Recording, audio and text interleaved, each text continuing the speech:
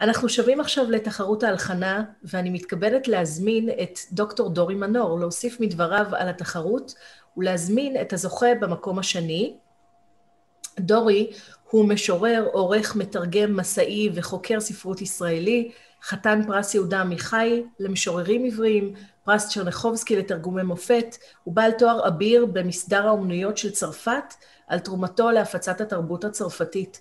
דורי פרסם עד כה חמישה ספרי שירה פרי עטו, האחרון שבהם, נפש אחת אחרייך, או אחריך, תלוי מי קורא, ראה אור ב... שראה אור ב-2019. דורי גם ייסד את כתב העת הספרותי הו בשנת 2005, ועורך אותו עד היום, יחד עם שני שותפים. בהזדמנות הזאת נוכל לשתף שחברי מערכת הו בחרו להעניק לפרויקט בן יהודה רשות פרסום לגנות כתבי העת. אז לשמחתנו, כמו שאסף הזכיר בהתחלה, בקרוב תוכלו למצוא אותם באתר הפרויקט. דורי, בבקשה. תודה רבה, שני. אה, מאוד, מאוד שמח להיות כאן היום, מאוד נרגש, ואני עוקב אחרי פרויקט בן יהודה, לדעתי ממש מראשיתו, אני זוכר כאשר אה, אסף ברטוב אה, סיפר לי על, ה, על הרעיון הזה כשהוא היה ניצן צעיר מאוד, ו... Uh, ההתלהבות הייתה גדולה כבר אז, אבל כשמסתכלים היום לאחור uh, על מה שנעשה מפרויקט בן יהודה, אז באמת אני חושב שיש לכם, uh, שאני, אסף, סיבה טובה מאוד לגאווה גדולה ובעצם לכולנו.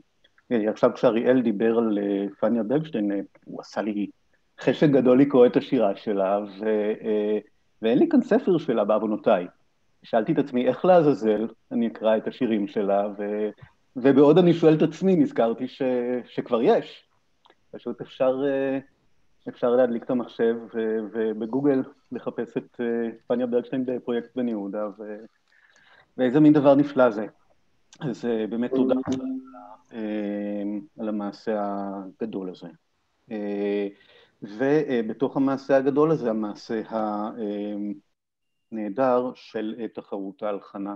בעצם אנחנו נמצאים עכשיו ביום הראשון של שנת 2021, אה, 50 שנה וחודש ממש אחרי המועד שהייתי אה, אומר שהוא אולי מועד התפנית הגדולה בכל מה שכרוך בהלחנת שירי משוררים בישראל.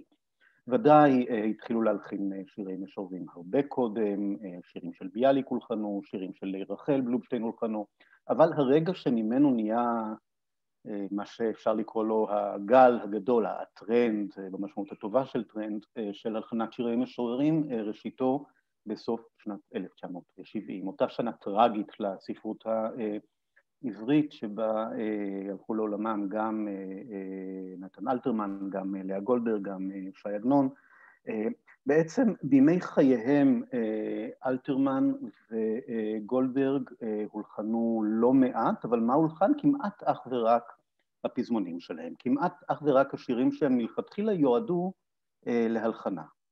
והחל בשנת 1970, סוף שנת 1970 אם לדייק, התחילו להיות מולחנים גם השירים הליריים שלהם. אה, אני חושב למשל על השירה של אה, גולדברג אה, שהולחנה על ידי מיקי גבריאלוב ששר אצילה דגן. זה ראה אור, שוחרר הדיסק הזה של צילה דגן, עם, ולא היה בינינו אלא זוהר וכן הלאה, בדצמבר 1970. זאת אומרת, אנחנו בדיוק 50 שנה אחר כך, 50 שנה וכמה שבועות. וזו הייתה הפעם הראשונה בעצם, 1970, שבה שיר של לאה גולדברג שיר אה, לירי, לא היכלי, לא פזמון ליקינטון, שיר שהיא כללה בספרי שיריה, אה, זו הפעם הראשונה ששיר כזה, שירים כאלה הולחנו בכלל. עד אז לא, לא היו אה, כמעט דברים כאלה במקובל. ומאז זרמו הרבה מים בירקון, ולאה גולדברג הפכה להיות המשוררת המולחנת ביותר בתולדות השירה העברית. ובמהלך שנות ה-70 היה אה, הפרויקט הגדול והחשוב של מי שאז היה אה, מפקד גלי צה"ל, יצחק לבני אה, המנוח, שיזם את ערבי שירי המשוררים של גלי צה"ל, ערבי ההלחנה של שירי המשוררים, ואני רואה, לפחות תוך כדי ההאזנה לשלל הגדול והנפלא הזה של לחנים שהתקבלו לתחרות אה, ההלחנה של פרויקט בן יהודה, ראיתי בפרויקט הזה, בתחרות הזאת, מעין המשך מחווה, אבל גם המשך לפרויקט הזה של יצחק לבני משנות ה-70 מקץ יובל שנים. היה תענוג גדול, אחינועם ניני קודם דיברה על זה, תענוג גדול להקשיב למבחר האדיר של הלחנים האלה, מתוכם היה, היה מבחינתי הייתה הפתעה גדולה כי כי לא ציפיתי לשמוע עד כדי כך אה, הרבה לחנים טובים, זאת אומרת היו שם באמת אה, יצירות מאוד מאוד מעניינות, מאוד מאוד יפות, אה, להרבה מאוד אה, אה, משוררים שלא מובן מאליו להלחין. אה, אז כן, הרבה מאוד לחנים לרחל, שהולחנה בלי סוף גם קודם, אה, לחנים לתרצה אתר, אבל גם, גם למשוררים שהרבה פחות הלחינו, ואחד מהם אה, הוא אה, השיר שזכה במקום השני, וזה רפאל אליעז. כן, הלחינו, הלחינו פזמונים שלו, ודאי, רפאל אליעז בין הדור המודרניסטי של, של אלתרמן, של גולדברג, של שלונסקי, של אברהם חלפי, של אבות ישורון גם, אבל שירה לירית שלו הולחנה הרבה פחות. הוא נולד ב-1905, הוא מת ב-1974, הוא זכור לנו כמתרגם אה, בראש ובראשונה אולי, מי שתרגם את רומנסרו צועני של אה, אה, פדריקו גרסיה לורקה, מי שתרגם מחזות של שייקספיר ועוד יצירות רבות ויפות, והוא היה גם משורר, משורר מאוד מאוד מעניין, יליד בולגריה,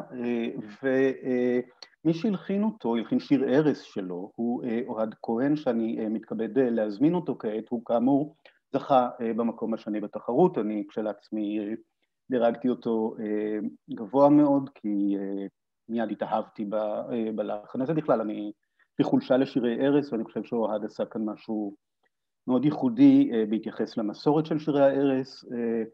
אוהד הוא כנר והוא מוזיקאי קלאסי.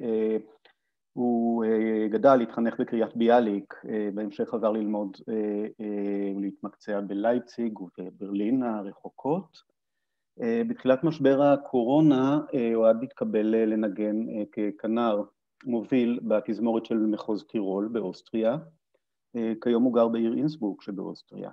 הוא הלחין כאמור את השיר שיר ערש של רפאל אליעז ונצפה בווידאו שהוא יצר על השירה איתן אדרי. בבקשה.